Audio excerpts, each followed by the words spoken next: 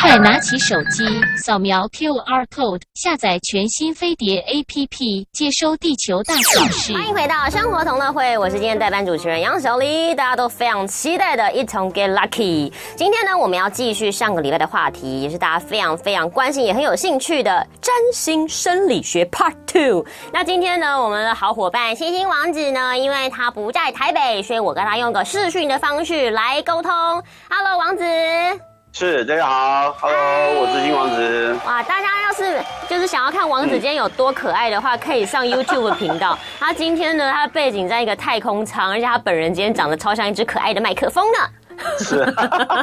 对，真的真的啊。其实我上个礼拜有听节目啊，这个占星生理学啊，就是每一个星座会掌管生理系统的某一个特定的区域嘛，对不对？对。上次我们讲到什么，可能是白羊座都是偏什么眼睛、大脑啊，什么金牛是肩膀嘛，然后一直到就是我天蝎座本人就是生殖器官啊、膀胱啊。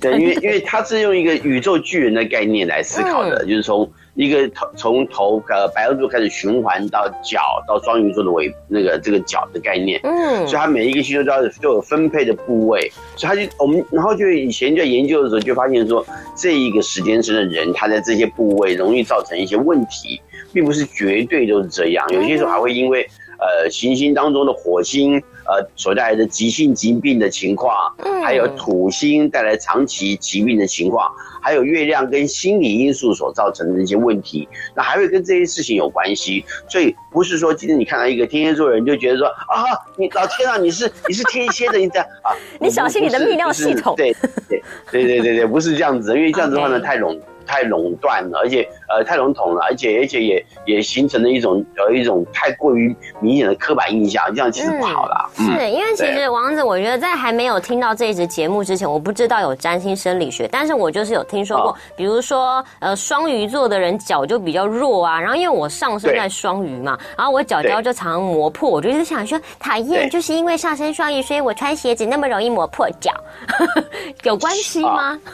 有关系，因为呃上升星座也会跟我们平常生活的呃习惯有关系。那它因为因为从上升星座会定出我们跟环境相关的呃十二个宫位。嗯，那这个环环境呢，也是我们身体的部位的意思。嗯，那呃比如说双鱼座来看的话呢，它的可能呃比比如说第十二宫可能比较有比较多的行星存在，或者说或者说也因为呃他谈到了你生活当中呃可能没有注意到一些。细节上的问题，比如上升双鱼座人，假设说他们在生活当中很多时候，呃，他们很容易呃忽略了一些呃可能环境当中对他们而言产生的一些影响。啊，假设比如说霉霉菌的影响，可能忽略掉了，那或者那他们可能就会容易在这方面皮肤容易产生一些跟霉菌产生的问题之外，还有一个就是皮肤也特别的薄。嗯，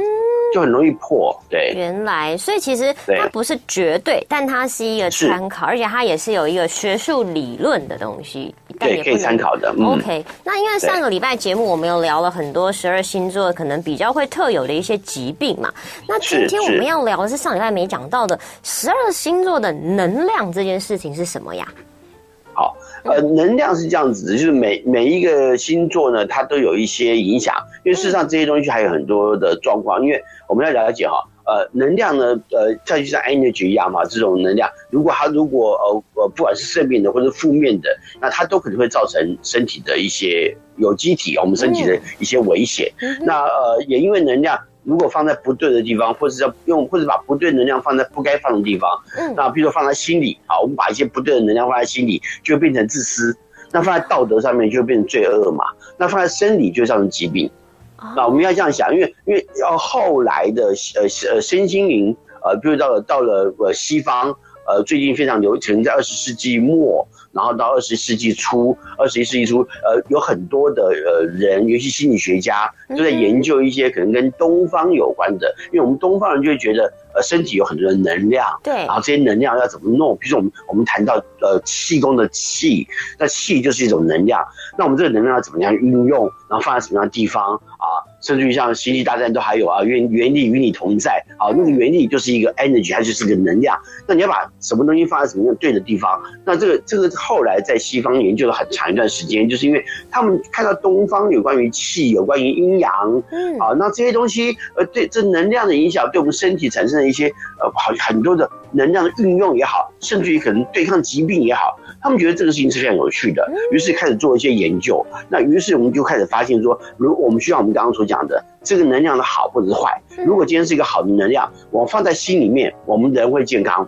那我们的我们心里，我们就不会自私，我们就是大方的，我们就是就是很愿意帮助别人的。可是我们放在道德上，就是一个我是一个非常有道德的人，我就会维护道德的正义。那我就会想把这个这个道德事情做好啊。当然我们讲这个道德不是道德磨人啊，那种呃硬要去修正别人，你说自己其实也犯了错这样子的啊。那但是如果我们讲过不好能让，你放在呃你的你的身体上。放在心理上，放在道德上，都可能会产生一些呃对自己或对这个环境的一些危害。哦，那所以我们在讲的就是这件事情，就是说呃每一个星座，呃，但是我们也是要也是要提到，就是这个能量呢，我们谈到的星座不完全是指太阳星座，是，那它有点像是这个星座的统称，就是说有点像说。一个每一个星座都有一个基本特质，那因为行星的进驻可能会造成不同的影响。假设比如说火，呃，比如说呃呃，太阳是我们外在形象给别人看到的样子，然后呢，月亮是我们的内在心理的感受，那水星是我们说话的方式。那比如我我的我的能量放错地方，我的说话就变成我我讲话就很牙尖嘴利啊，我会特别呃，平常看起来是很温和，温和的不得了。那可是呢，一一旦碰到一些呃情绪上的能量的那个错误的状。状况使得他的情绪不对劲的时候呢，在说话的时候呢，可能就会说的比较难听啊，说的比较不好，呃呃不不对劲哈。那这个是语言说话。那如果放在感情上就是金星，那如果放在生生活的行动上，可能会跟火星有关。那那那如果放在呃，比如说呃大环境的哲学观啊，比如说我们的生活的哲学观，我们的。整个道德、知识、道德啊，就跟木星有关。那如果我们放在我们自己的社会地位，然后放在我们自己职场上的表现，那可能会跟土星有关系。那所以每一个行星进驻，它都会呃带来不同的影响力。那所以它不完全是呃，就是说今天谈到太阳星座啊，就就就就是这样的一个状态。看你是在哪一个事件跟你遇到的事情上面。所以其实以王者来讲的话，就是能量不管是正面或负面能量，只要是过度的能量，可能会造成一些影响。那那我们先来从从白羊座开始讲好了。我们白羊座有什么能量的特殊的地方啊？好，白羊座的问题是情绪爆发之后呢，会产生过多能量。那这个情绪爆发有两种概念，我们刚刚讲过正能量跟负能量。对，那正能量就是哎，我很开心，我很嗨，那我非常开心，我的能量就爆发非常多的能量，我就于是这个能量一直要用。所以很多白羊座的人，人如果我们讲太阳星座的外在表现来看的话，嗯，就是他因为爆发了这个能量之后呢，他觉得很嗨、很正面的话，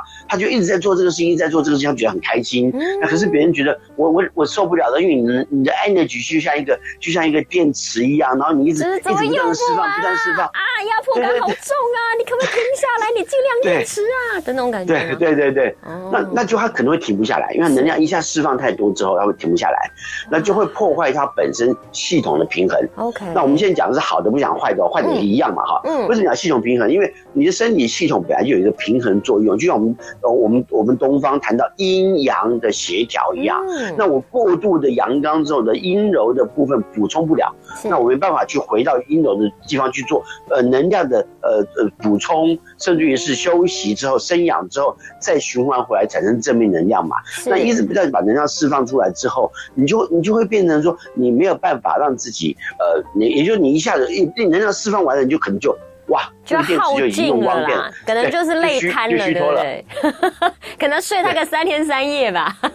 对，啊，类似这样。那这个是白羊座，那火星在白羊座也会有类似的情形。那如果如果今天是月亮在白羊座也是一样，一时兴起到了，他就很开心，就一直在做这个事情。可是当这个时候，如果有人打断他，就像泼了冷水一样，那就可能会使他心里的这个能量释放不完整。嗯，那你也可能会造成内心当中这个因为阻碍的问题。啊，然后这种这种这种伤害，就会让他觉得说，我是不是哪里做的不对？他反而会变成一个负面能量的问题。那这个的评，这这个的评估有很多意义，所以我们目前只讲到，比如说太阳白羊座啊，不讲太阳，就白羊座，如果以太阳座太阳星座来说，呈现在外的样貌，它这是能量释放的问题。我们这样解释，那你可以放在各种不同的行星上面去思考。OK，就是白羊座总体来讲，就是能量有可能有可能就太高涨，棒一下子就爆发出去，然后最后就可能微微后继无力，睡他个三天三夜。好，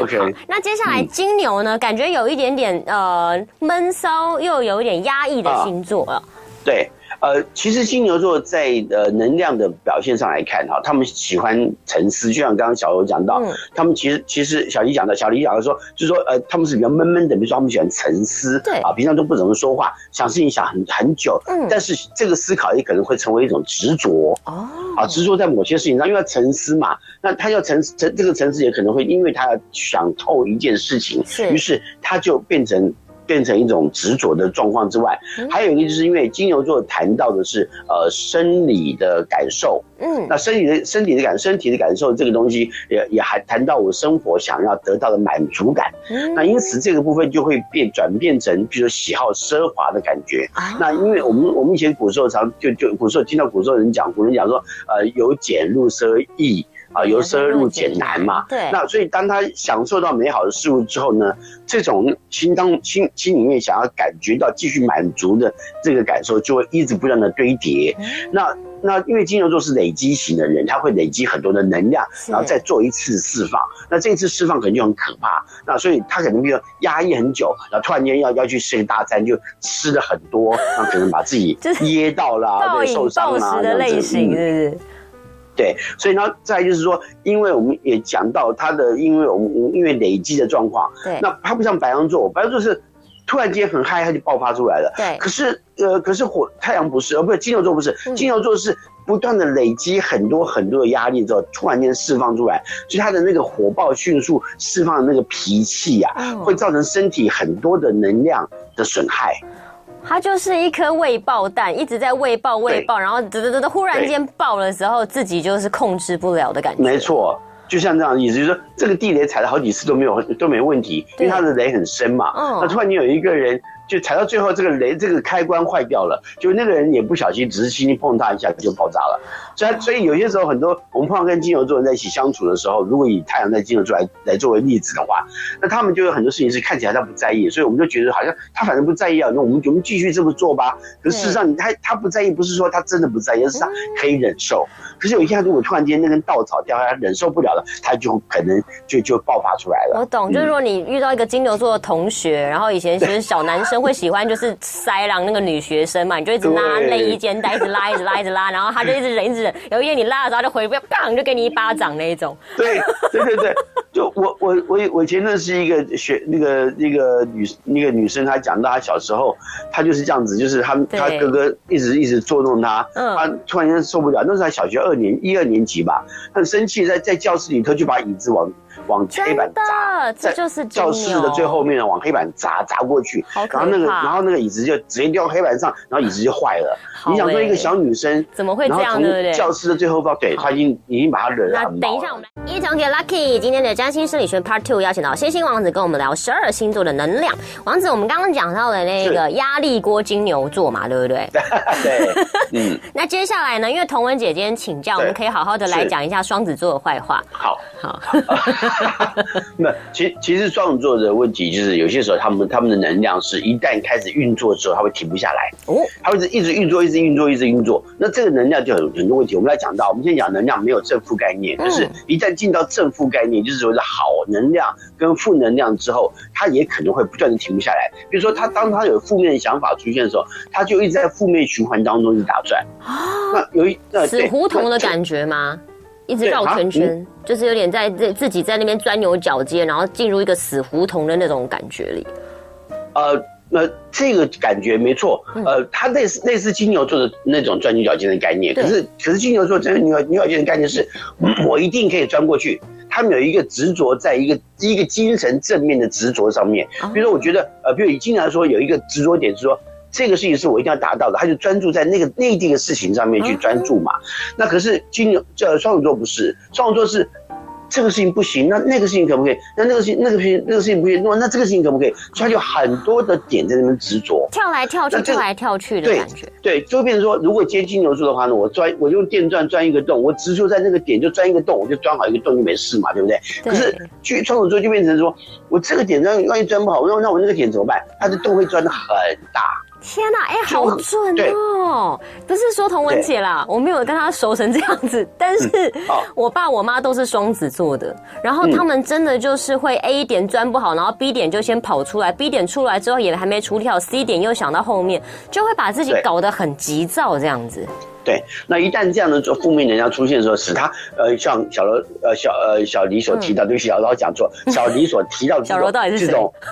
因为因为他因为我觉得你好好温柔啊，不对不起，不是 你以前都很温柔哈。小小李所谈到这个事情，就是因为他有很多的点在执着的时候呢，他就开始因为这样的关系悲观了啊。这个跟我平常所碰到的不一样啊，这个事情怎么会我怎么我。怎么解决不了这个问题啊？比如说，我们我们讲到童文姐的问题是，他们最近要解决他小孩的状况，对，他的那个他他们家那个阿呱呱呱，然后问题就很多，他就会觉得很悲观，为什么会变这样？为什么变那样？他就会在很多地方同时执着在那些事情上面。可是回头，也就是说，他的焦距啊拉得太散了。是，如果我们把 focus 回来，往后退退一下，focus 回来，其实会发现说。哎，没有那么难，没有那么难呢。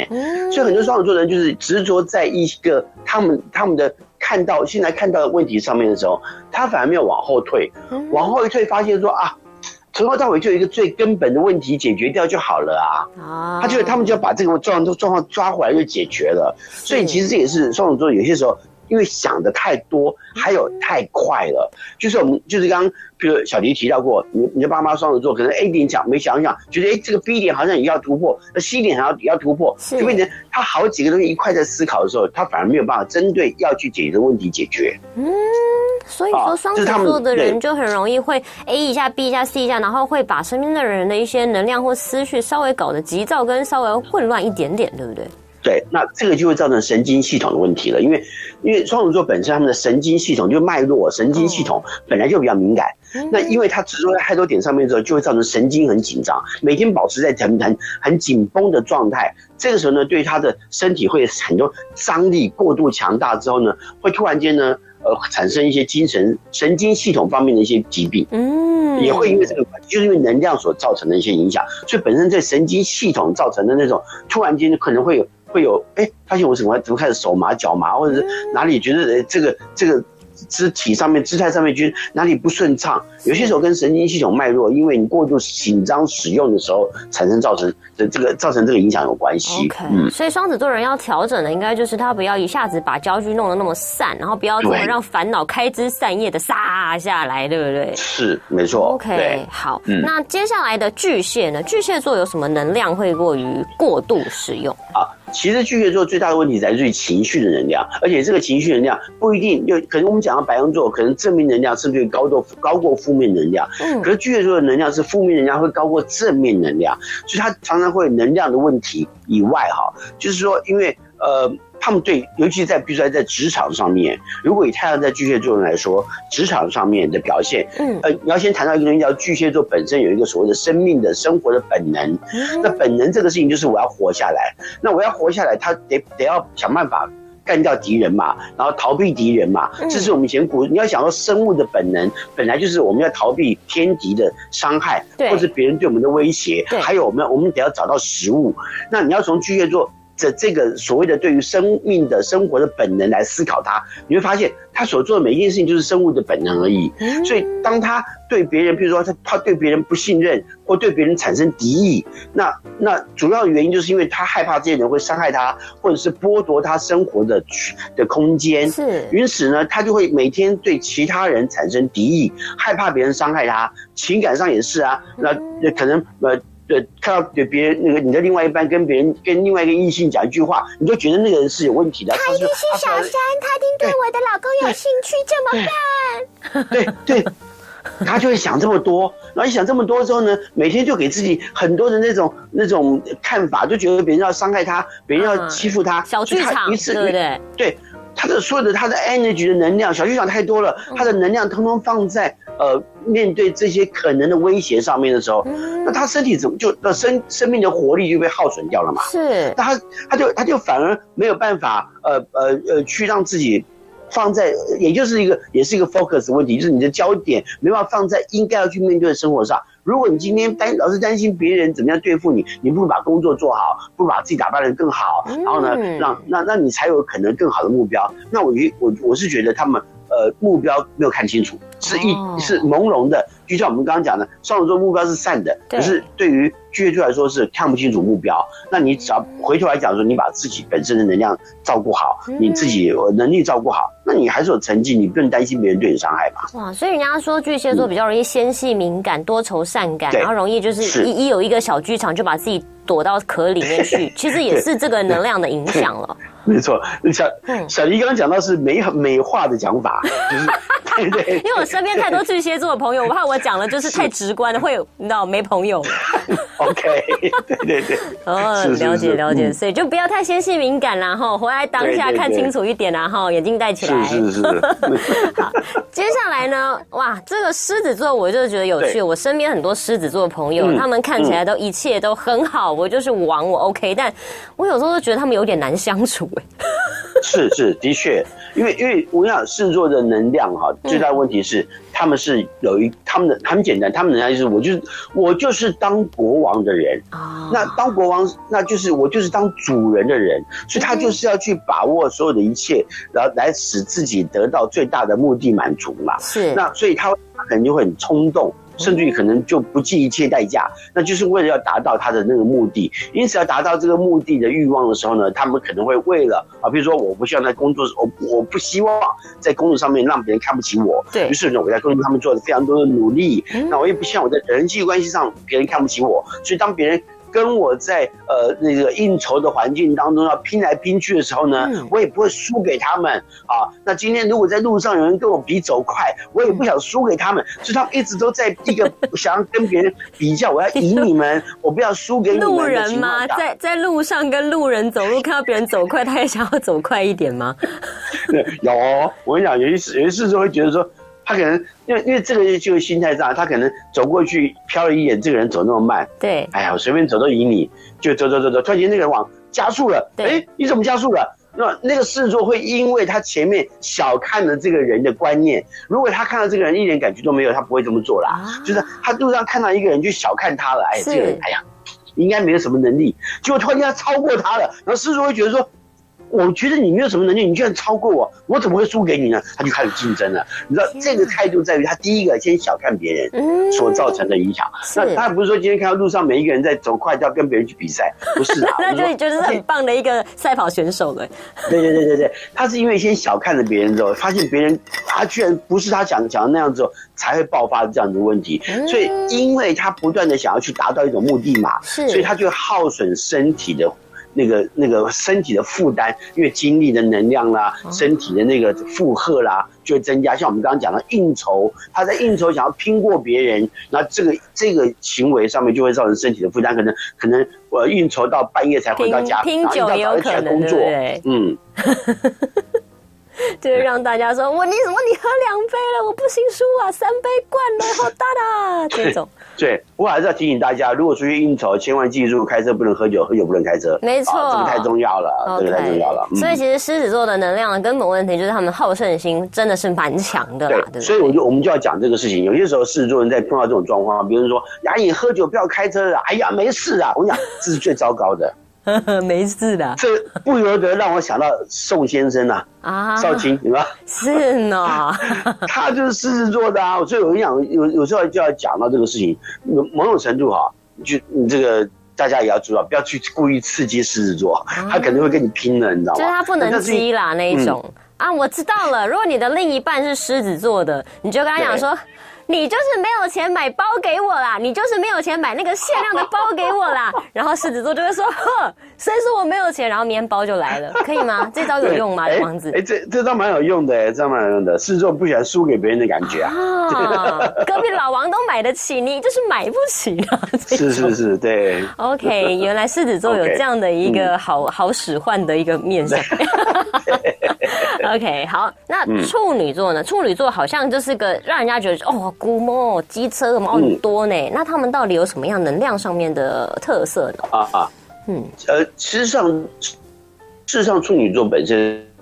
嗯，他在他在自保的行为蛮明显的，嗯那他不像呃不像不像呃巨蟹座，除了自保以外，还有求生存的概念。但处女座懂得自自我储存能量，平常会做好自我的预备，那所以他有很多自保的行为。但这个自保行为也有可能在因为心理偏差等作作用上面啊、可能会产生自私或者是自怜。啊，觉得自己好可怜哦，会觉得自己很，就是觉得说我自己我别人都不为我，干嘛要为别人想？这自私也会跑出来。那这个时候就会在心理上面跟生理上面产生尖酸刻薄的状况。所以我们常常去讲说，如果你今天看到一个呃，太就假设我们以太阳星座为为例，或或者是上升星座为例哈，就是他们在讲话的过程当中，呃，跟你讲话有些时候会有点尖酸刻薄，某种程度是因为他自己站在一个很自怜的角度上面，哦。啊，或者是很自私的角度上面，然后去去看待这个处境，是所以事实上，如果这个事情他一直都没有消退的话，他就成为他就应该是成为心理上的一种病态。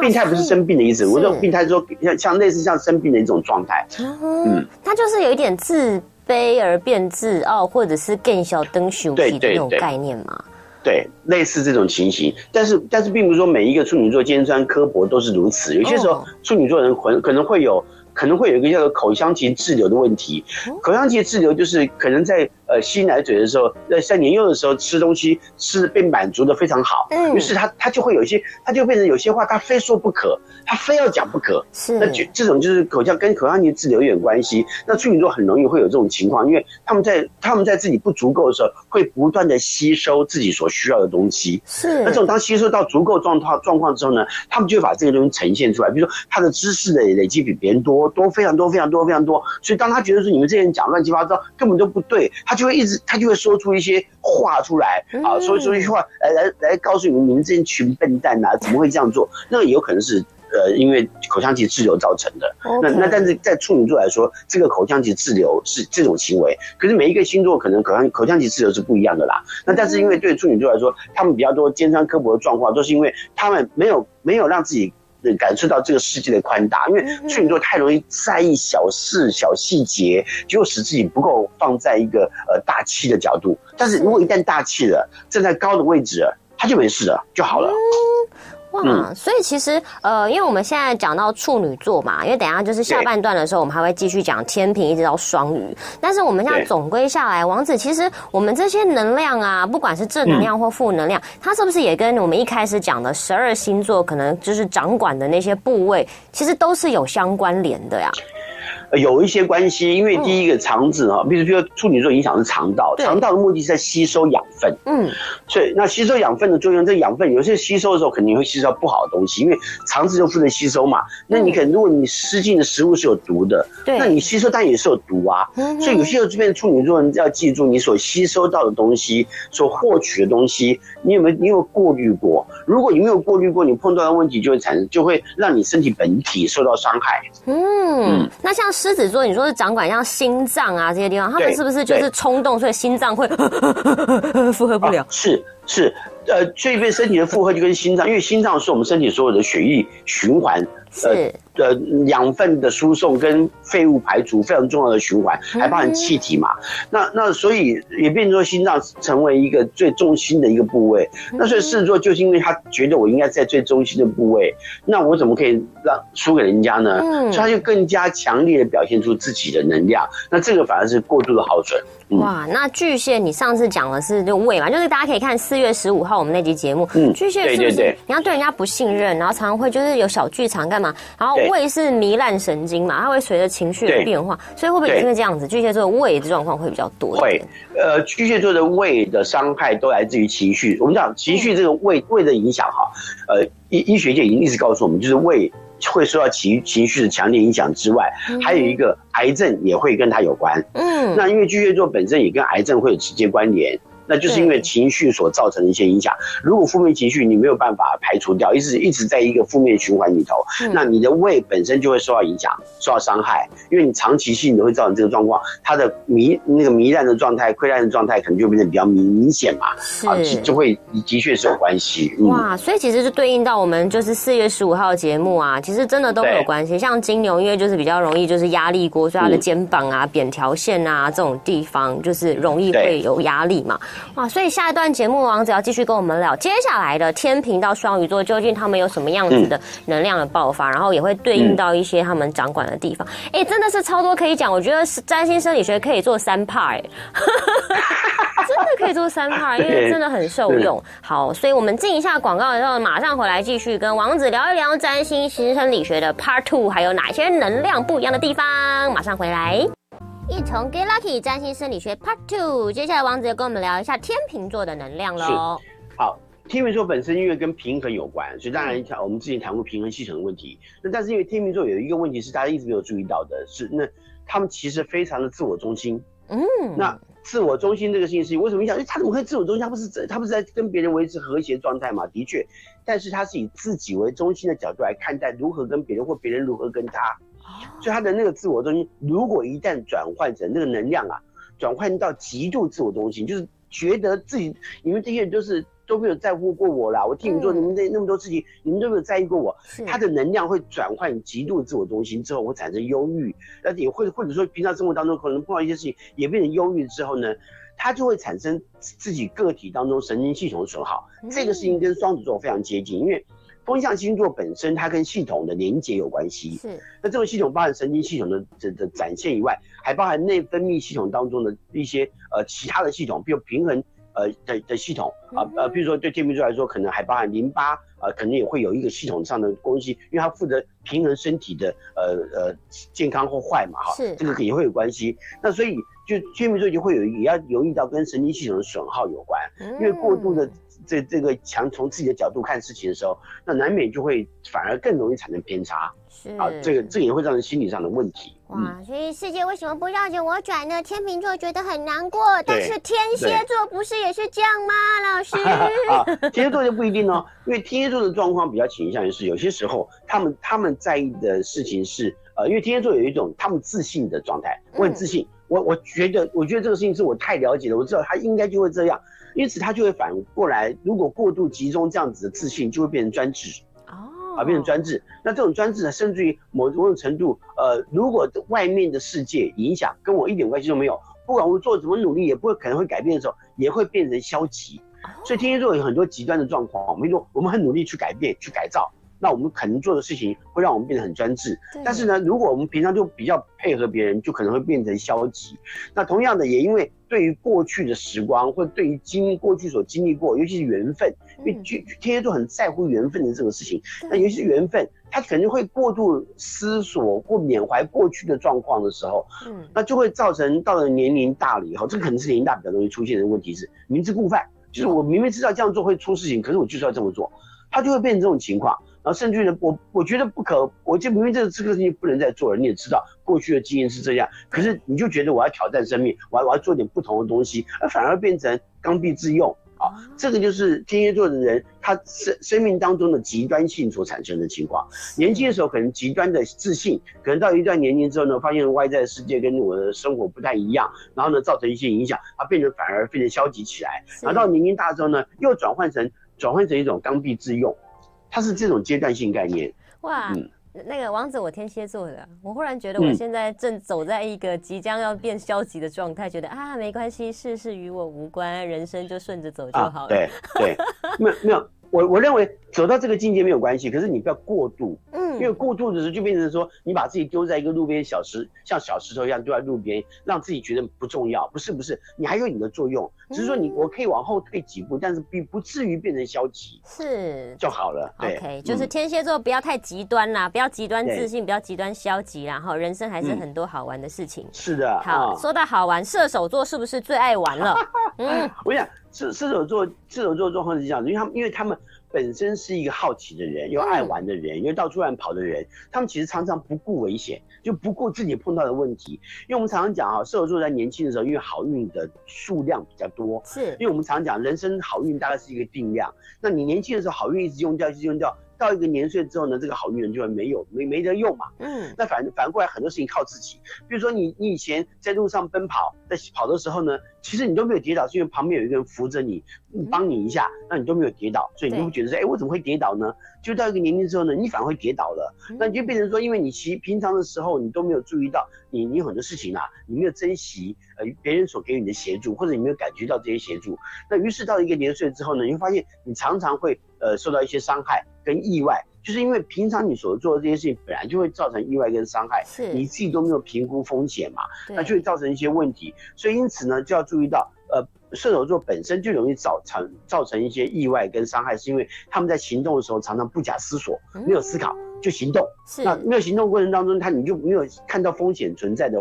状况跟存在的几率嘛。那同时呢，也因为。火象星座的朋友常常会有一个状况是，一旦他开始运作就停不下来。那一旦停不下来之后，就会造造成神经耗损过度明显、过度严重。那这个神经耗损过度严重，就会变成让他一累瘫下来，然后甚至于可能年年龄大了以后，身体的手脚的使唤的状况也变得比较不好。因为神经系统耗损太大，嗯，哦，原来就是射手座还是要保留自己的能量，因为我身边很多射手座朋友真的就是年轻的时候就是耶哟耶，然后老了之后就太明显了，嗯，对，对，OK，好，那接下来呢，我觉得很闷骚的摩羯座嘞，是啊，呃，摩羯座的问题是这样的，因为摩羯座在我们的在生理学当中谈到一个东西是跟身体身身体的结晶有关，什么叫结晶啊？比如说痛风就是一种结晶，嗯。好，痛风就是有结晶。那那身体，因为摩羯座本身有一个根深固蒂固的概念，所以他们在面对生活当中很多事情，就变成说，我我我因为根深蒂固，那有时候有些事情我就把它哦好，我我觉得这个事情啊。我认为去这样做了，他就立一个石碑，所以那个石碑挡在路中间，其实很挡路嘛，定得嘛，就挡到那个路了嘛。可他觉得，我就这就是就是告诉大家，这就是一个石碑，我们要尊重他这个规则，这个原则如何啊？那所以他生活当中有很多事情，就立下了很多这种规矩啊，很多这种东西。于是，在身体当中，身体里面也会产生类似这种情况。所以，很多摩羯座人到了年龄大的时候，会发现说，哎，身体中很多比如痛风的问题啊，关节的问题啦，那甚至于骨刺啊，就有点像在道路中。间长了一个呃，放了一个石碑的状状况是一样的嘛？所以因为对生活态度当中很多事情是，他会觉得说，我累积的生活经验达到这个目标，我好不容易啊，他认为这是一个很好的结晶，没有错。可是也因为这样的关系，使得身体得到很多限制。是。那也因为有这些限制，譬如有这些东西挡住路了，那我的。我的河流，我的血液血液的循环，然后甚至于我我水分的运输，是不是就因为这样子而受到影响？那就这种状况就会造成很多事情，是因为因为被堵塞、被累积，就有一些身体的某一些部分没有得到养分，就变成干、变成枯竭，水流不过然后所以可能甚至于甚至于包含饥渴，因为他们可能会过度压抑欲望。就突然间可能形成饥渴的情况出现，也会啊造成这种影响。其实也是蛮极端的，所以真的都要让水顺顺流。哎，好，说到水，水瓶嘞，这水瓶也是个难捉摸的星座。对，没有水瓶座其实是这样子哈，呃呃，他们很多情况下因为太在乎外在环境的那种呃公平、自在、自由，是啊，甚至于他们人道主义精神会很多。那呃，而且呢。有些时候，因为他们如果在乎那些其他人事物啊，他没不，他就不见得会有自己我的自我的成就，所以很多水瓶座人都会借由不断的一直让自己行动、活动、生活或者是工作，来忘掉自己所在乎的那些事情。是，好，也因为这样的关系呢，所以就会变成他有很多呃很多的状况呢，呃，一直不断借由这些事情发生之后呢。却可能产生了更大的焦虑感，因为他们，他们，呃，你说是不是先天下之忧而忧呢？倒也不是，只是说他的确看到了很多未来的结果。是，那因此他们在看到这些未来结果的时候，就会产生一些不安跟焦躁，会觉得说你们为什么都没有朝向那个更好的未来前进呢？是，那因因此呢，就会使得自己啊面对很多状况的时候，反而在心理当心理的因素啊变成过度的敏感。或者是忧虑嗯啊、忧郁的情况就会产生。那这个时候呢，呃，水瓶座就会就会没办法转换成一种积极的去处理事情的态度。嗯那那这个状况就变得比较容易产生他后来呃也因为身体的关系，然后可能会有一些躁跟跟躁郁啊啊、是跟这种焦躁有关的一些情绪上的展现。哇，那讲到情绪，最后我们来到双鱼，双鱼不是最容易有情绪问题的吗？王子本人对双鱼座，哎 双没有，其实其实我觉得双鱼的状况是这样子，因为呃本身我们都了了解双鱼座敏感度很高，是。有的时候很在乎不同人的之间的互动，然后嗯再加上有具有一些可能我们大家觉得具有神秘感，可事实上所谓的这些敏感啊，或者是或者这些神秘感，反而会使还或者是想象力啊，会使得双鱼座本身在生命的心理状态当中，会反而会失去平衡哦，啊，甚至是情绪反应失去平衡。那为什么这样解释呢？就是为什么这样讲呢？就是因为我们太在乎，就是双鱼座人很容易在很多事情上有很多的想象的看法。那这个想象其实是想要跟天堂的意意境意境连接起来。嗯那我们我们常讲，比如说鱼是两两个眼睛，除了比目鱼啦哈，那除鱼通常是两个眼睛嘛对，那所以它两个眼睛在两侧，不是在正前方。这是两侧嘛，所以他这边可能看到天堂，这边可能看到地狱啊。哦那他他会把这两个东西合在一起之后呢，想象成为天堂所以他以为自己身处在天堂里头，但其实他可能根本在地狱里头。好，所以所以就变成说，有些时候他常常因为这些想象力的关系，使得在自己面对生命生活当中的许多事情都看得太过美好，嗯就发现说生活其实根本就。也有时候可能夜深人静，静下来思考，发现说生活根本没有自己想的这么好，于是呢，就反而会在情绪上突然间崩溃，那就会造成这个不良的平衡反应。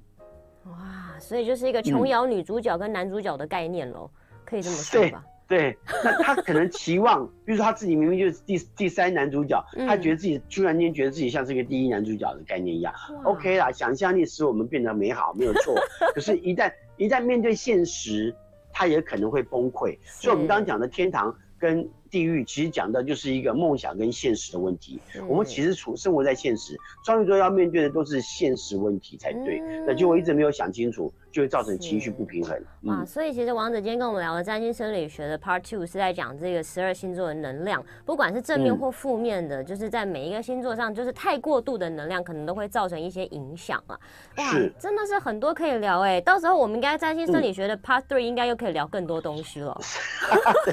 时间真的是超有限的，但是其实现在现在疫情啦，大家都会有一点紧张，你也可以透过这样的方式，透过王子跟大家聊的这些部位啊，这一些能量，去审视自己的身心灵是否平衡，这个也很重要。哇，对谢谢、嗯谢谢王子感谢是星星王子，祝大家谢谢平安健嗯康，拜拜，拜拜拜拜，谢谢小姨，谢谢，拜拜。